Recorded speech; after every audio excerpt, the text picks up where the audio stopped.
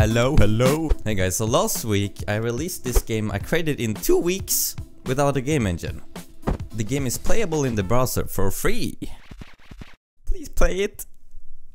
now if you haven't watched episode 1 yet, I highly recommend that because in this video we're gonna take what I did, we're gonna use it up a bit, we're gonna make it look and feel badass. We're gonna take this ugly thing here and make it look like the... Why do I hear music? Uh-oh. Mm, look at this, it's a beautiful day. It's a bit cloudy but I like it anyway. Look at the flowers, swinging in the wind Better swing my shovel. Whoa, look at the particles I'm drowning in grass and gravel. Listen, I got some indicators indicating what you need to bring. Yep. I teach a player but this is what you do. You don't tell them anything so they will never learn what to do. Yeah, that's what I did this week. Welcome back to my devlog guys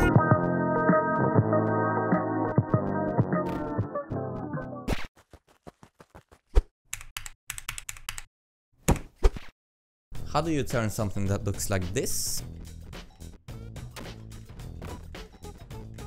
into this?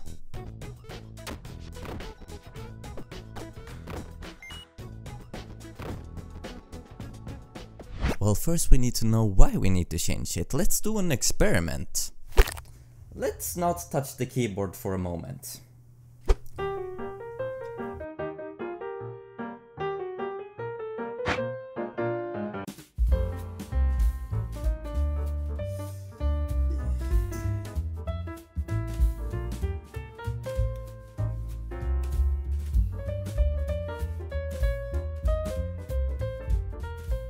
A big reason the second scene looks more alive is because there is movement on the screen. Something is always happening, the scene feels dynamic. This looks like a stale image, it looks a bit dead. The sprites aren't that interesting either because they're very blocky. We humans enjoy seeing different shapes, textures, colors. I think this looks man-made. The first thing I did this week was to redraw some textures. That combined with just animating the player position using linear interpolation makes a very big difference.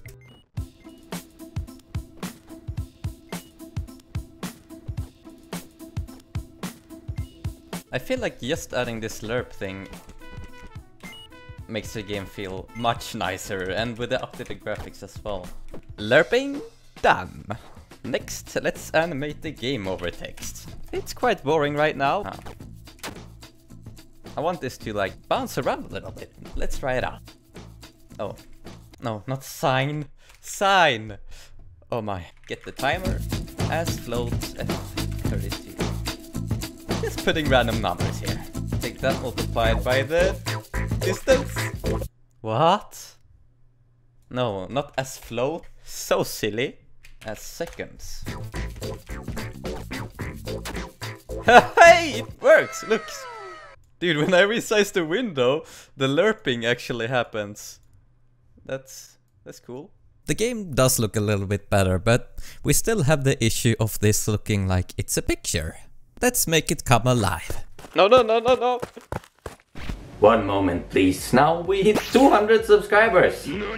Thank you, guys. Back to the video. I decided to add flowers and bushes. They fit the theming of the location and by having them scattered around the scene makes it look less blocky. It looks more like the scene naturally grew to look like this.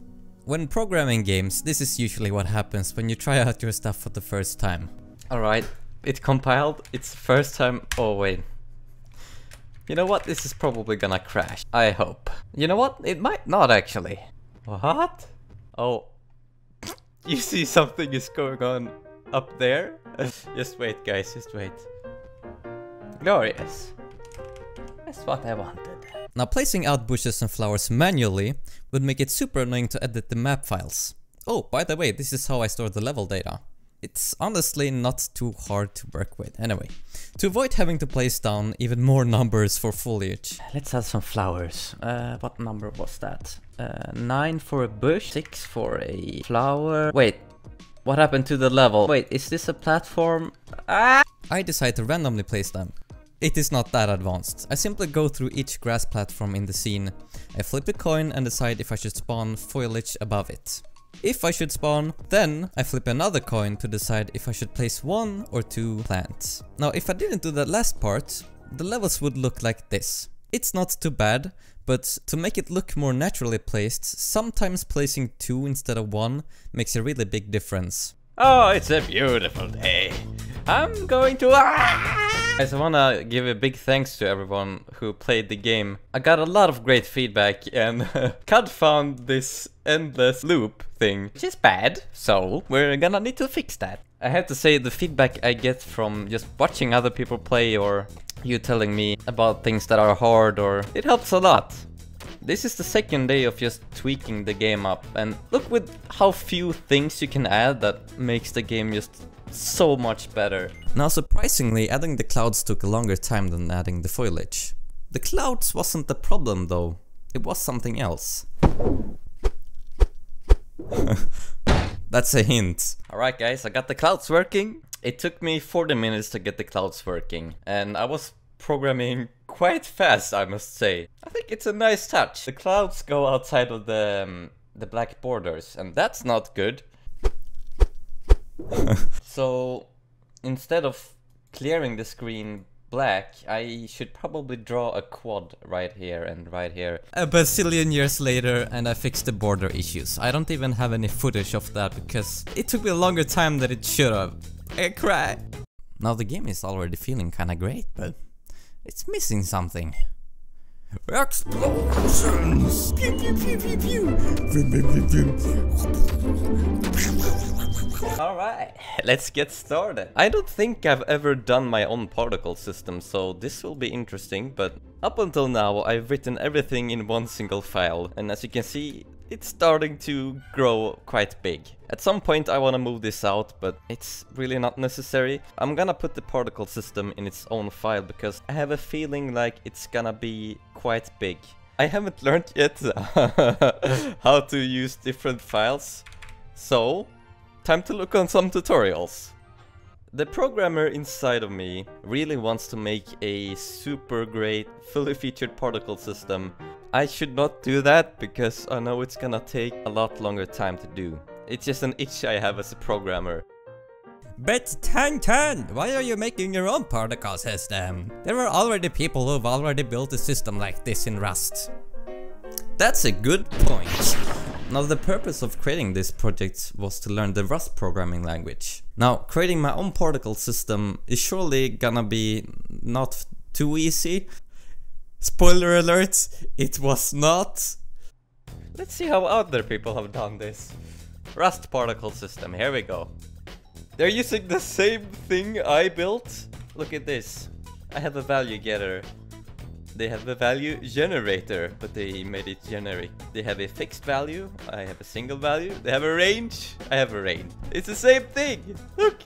Dude, this this looks very solid, this code. I'm, I'm happy I wrote this. Now we see that some of the ideas I had matches with the ideas of other libraries. I like these comments. Aha! We have two matrices cases here. The trick is that our property can... Hmm. There's a lot of things I'm not showing here. I spent multiple days working on the system. Anyway, I implemented some particles off screen. We have digging, walking, blood particles, and so it took me about 10 minutes to implement this cloud particle when you land. I think it looks pretty, pretty okay. The biggest thing Particles gives us is satisfying feedback. When I perform an action, I'm rewarded with juicy particles dancing on the screen. Falling off a ledge? This particle indicates where you landed, but most importantly, that it was an impactful fall. Digging? Well, you can see yourself, it's quite fun. Dying from skeletons? Fun! Well, I should say less annoying, because look at those beautiful particles. Walking? Every step the player takes, you can feel the boots of the player digging into the ground, making grass particles fly up. How far can we take this? Breathing? A puff of air, indicating the player is alive. Well, I didn't actually do that. I I probably could though. Hmm. Hey, so if you wanna try my game out, there's a link in the description.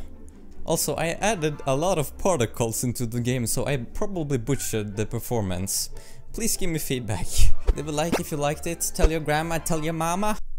Okay. See you soon. Bye.